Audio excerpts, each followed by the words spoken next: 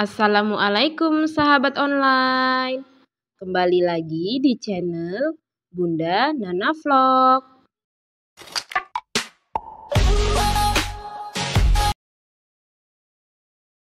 Hai sahabat semua, apa kabarnya kalian hari ini? Semoga kalian selalu dalam keadaan yang sehat dan bahagia ya sahabat. Di video kali ini Bunda Nana mau mengajak kalian untuk jalan-jalan. Nah, video ini sebenarnya uh, Bunda rekam di waktu lebaran kedua dan ketiga ya. Seperti apa videonya? Tonton sampai selesai ya sahabat.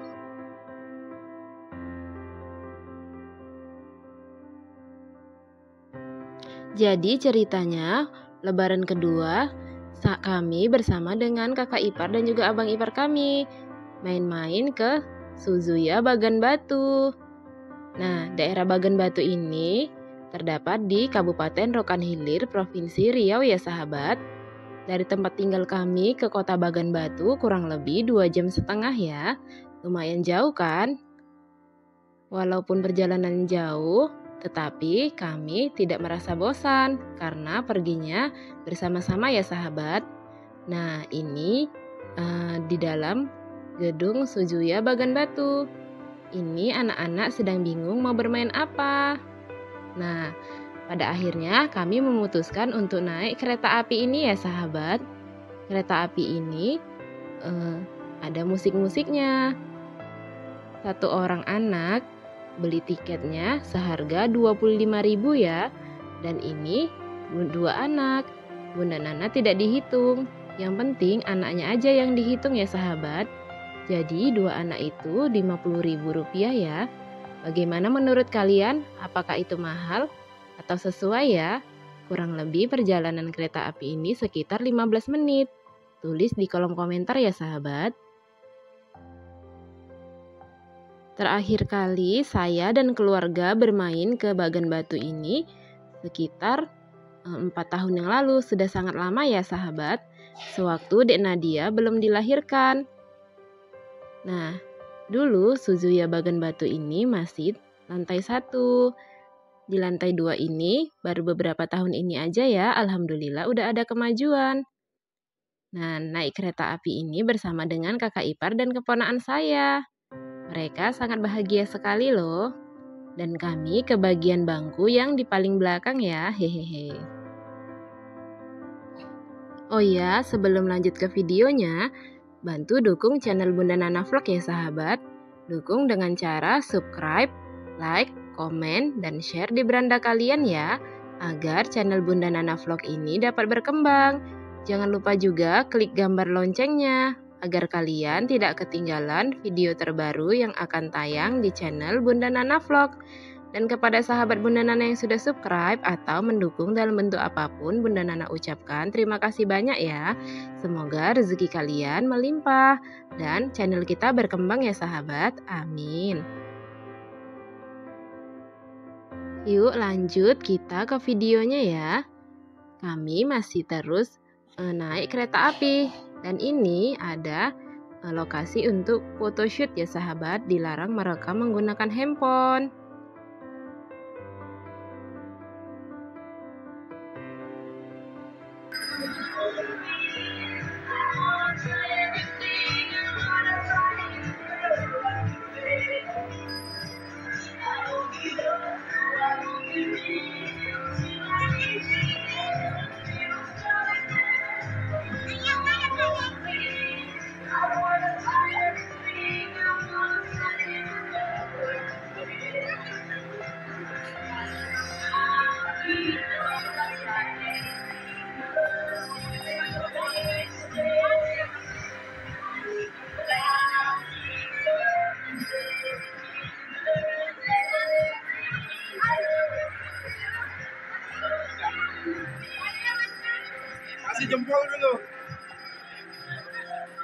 Jempol dulu Ayah.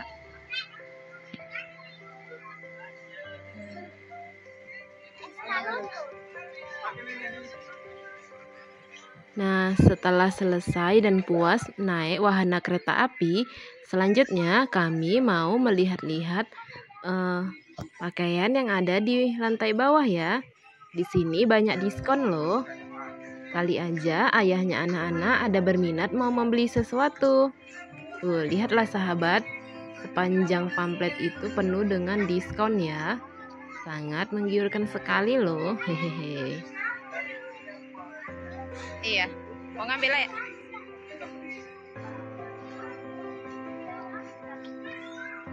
Iya, itu cantik ya. Beli yang bisa warna-warni.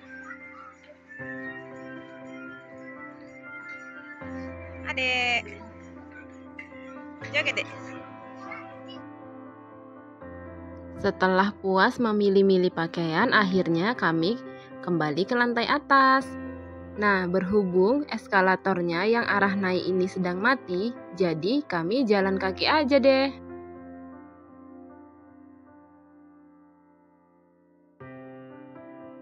Setibanya di lantai atas, anak-anak Bunda Nana, Mbak Naila, dan Dek Nadia langsung menuju ke toko aksesoris. Mereka lagi mau beli bando ya. Tuh, Mbak Naila memilih bando yang warna ungu. Dek Nadia sedang bingung. Dia mengambil bando yang motifnya simpel aja ya. Ini bandonya satu buah seharga 35.000. Menurut saya, bando ini terlalu mahal ya sahabat. Kalau di pasar bando seperti itu paling mahal harganya 15.000.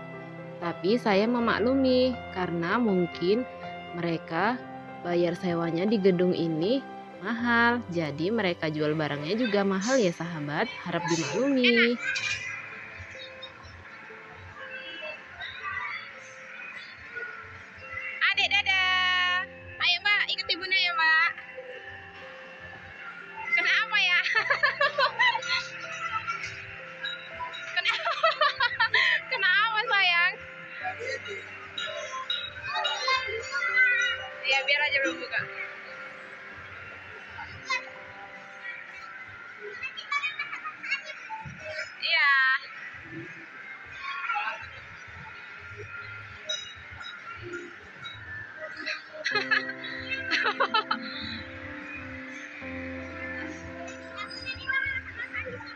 Iya.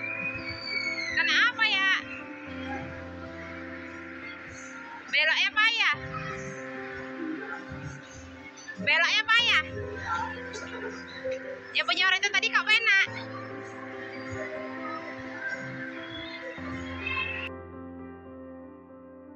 Itu tadi suami saya bersama Dek Nadia sedang bermain eh apa namanya itu wahana ya, hewan-hewan ya sahabat.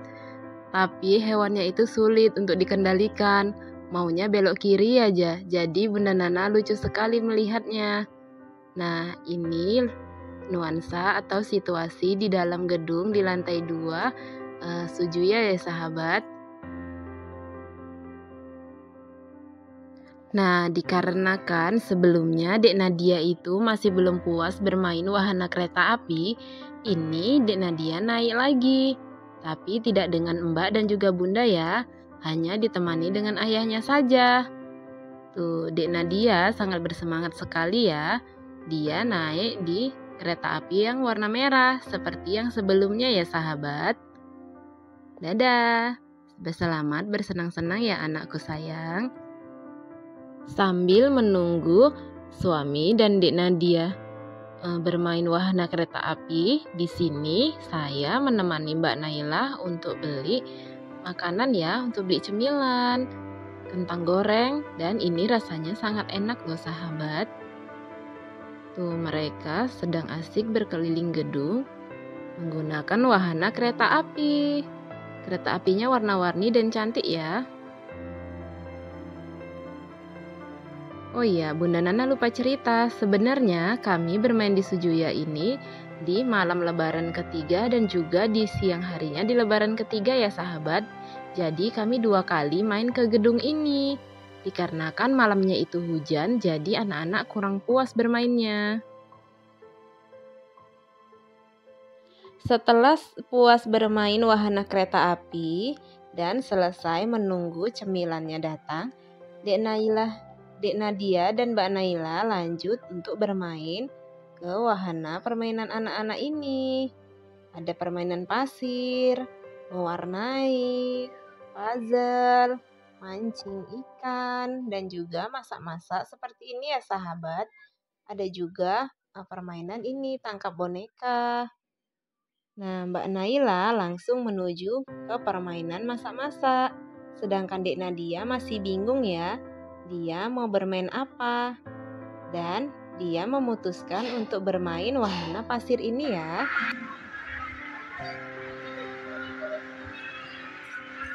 Ya, bermainlah, bermain. Naik apa kan dia? Ya, kan dia memang pinginnya main masak-masakan masalahnya. Memang naik kereta api ini paling enak loh ya.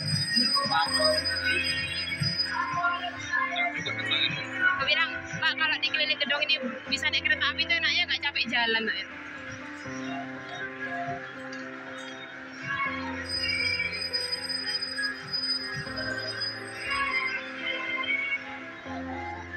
Oh, kompor-komporannya pakai lampu caranya ya.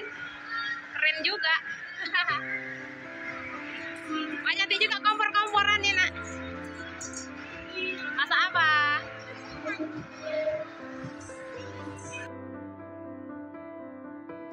Wah, lihatlah sahabat.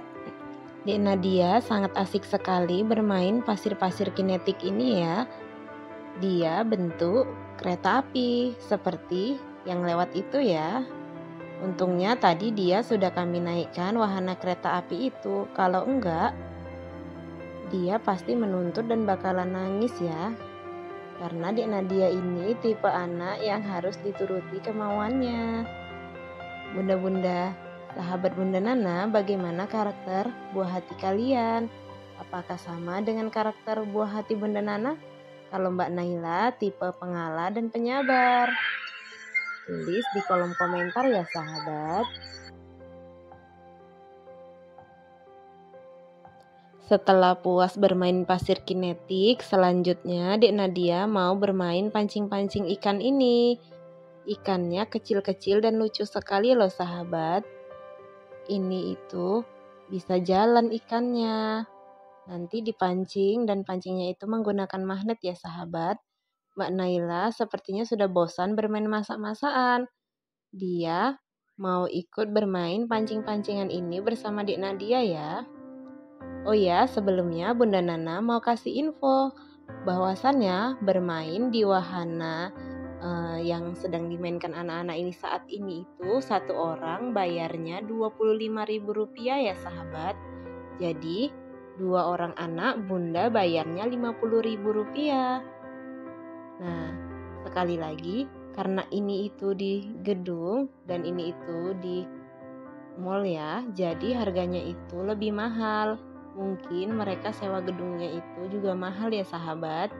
Kalau di pasar malam, permainan seperti ini satu anak bayarnya hanya 10.000. Seperti itulah perbedaannya kalau bermain di luar dan juga di di mall seperti itu ya sahabat.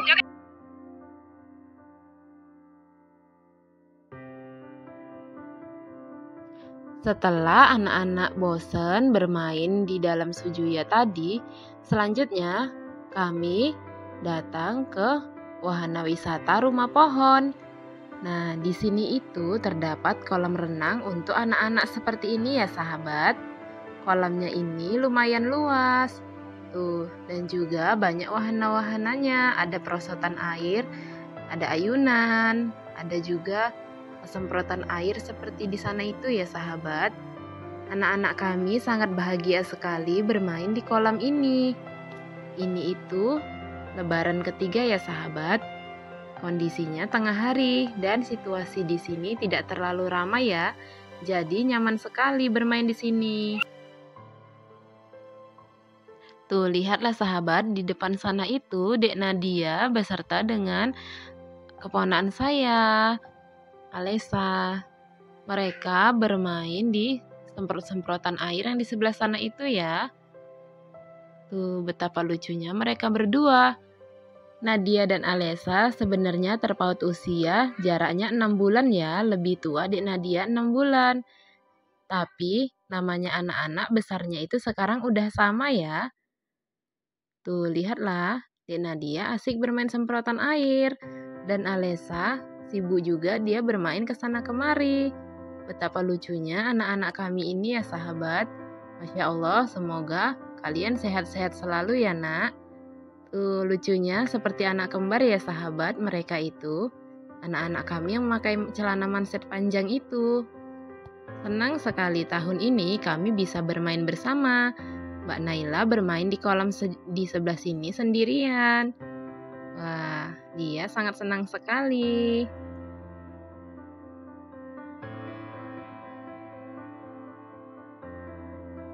Setelah selesai mandi-mandi, selanjutnya kami mau berkeliling di uh, lingkungan wahana wisata rumah pohon ini ya sahabat. Nah, wahana wisata rumah pohon ini di dalamnya terdapat kolam renang tadi dan juga wahana untuk berfoto seperti ini, kampung Indian. di sini itu banyak pohon-pohon yang ada rumah-rumahannya ya, di atas pohonnya gitu banyak rumah-rumahannya. Tapi kami karena bawa anak kecil jadi nggak bisa naik di wahana yang di rumah-rumah pohonnya. Masuk ke wahana wisata ini itu bayarnya satu orang hanya Rp10.000 loh. Dan anak usia 2 tahun ke bawah itu gratis, belum bayar. Sangat murah sekali kan sahabat. Di sini juga bisa kalian puas keliling dan berfoto-foto ya. Jadi bagi kalian yang mau bermain ke Bagan Batu, silahkan. Banyak sekali pilihan tempat wisatanya ya sahabat. Cukup sekian ya video di channel Bunda Nana Vlog kali ini. Semoga kalian terhibur ya sahabat. Dan informasi yang saya sampaikan hari ini berguna buat kalian. Terima kasih yang sudah menonton. Assalamualaikum.